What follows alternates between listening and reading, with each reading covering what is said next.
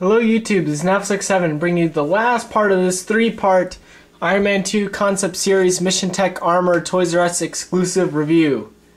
Say that five times fast. Say it, don't type it. Um,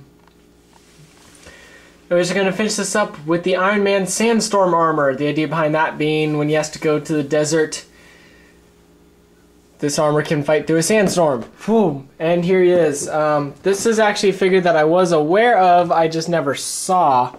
Um, it was like a stealth flight or something like that. Um, it was originally all black, um, with the idea being it was aerodynamic. It was kind of like a stealth fighter kind of deal. And so here it is. Uh, once again, these are from the first Iron Man movie. So these guys are not the three um, and three quarters inch tall figures. These guys are the six inch size figures. Uh, retail for about ten ninety nine on their own. Once again, though, this set comes in a set of um, twenty four ninety nine uh, only at Toys R Us or eBay or probably Big Bad Toy Store or something. Um, anyways, his big gimmick is that he has a jetpack. You see wings. You can get a button, and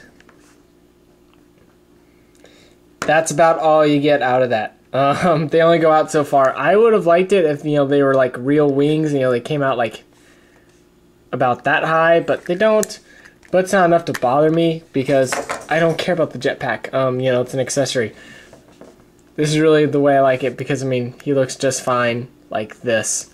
Um, he does have universal shoulders, but as a change though, um, they bolted the shoulder pieces on here, so his shoulder panels don't bump up um, and they're actually double serrated because you can, if you want to, you can bring them down like that. And he kind of has like Knight from Kamen Rider Dragon Knight or Kamen Rider Ryuki.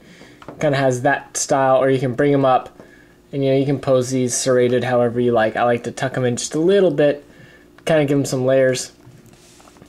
And his paint job is this kind of sandy gold with the cherry red, but it's all kind of scuffed and um, marked here and there Obviously, with the idea being that since he's going in sand, the sand's scratching everything up.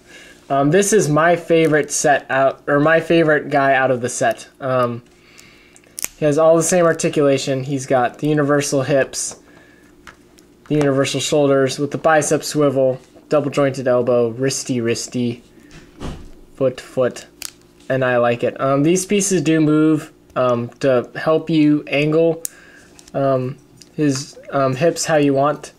It's also got the double jointed knee, which is incredibly tight, which is how I like my toys. I like my toys tight. Um, I like everything tight. Um, get your mind out of the gutter.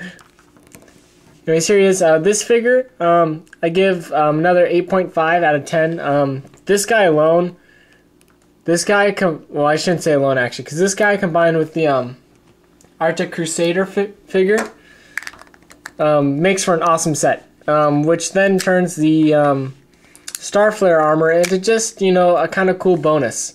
Um, these guys actually do look pretty cool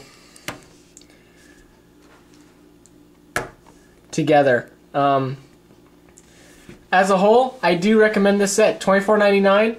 I think that is an excellent price for these guys. I mean, because here they are next to the current wave of toys. So as you can see, they're significantly bigger and they are really cool. Um, so if you missed, um, you know, the original paint schemes of these guys when they first came around, this is an excellent chance to pick them up again.